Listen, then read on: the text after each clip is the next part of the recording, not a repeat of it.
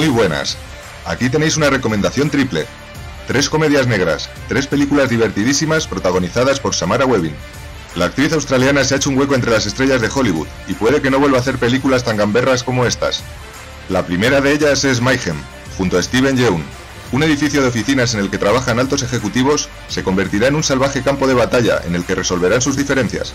La historia tiene un ritmo frenético y usa la violencia con ingenio para conseguir la carcajada una y otra vez. La segunda es Guns Akimbo, protagonizada por Daniel Radcliffe. Un tipo corriente se verá mezclado en una competición mortal que se retransmite online de manera ilegal. Acción trepidante, coreografías y efectos especiales de principio a fin. Una delicia visual con influencias del cómic y los videojuegos.